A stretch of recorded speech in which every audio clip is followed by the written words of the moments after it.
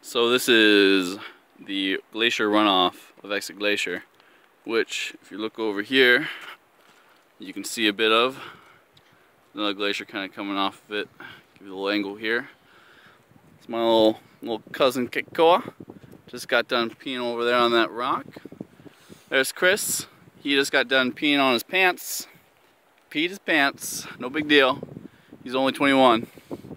So, uh, enjoying myself, I gotta say. I really do enjoy myself out here.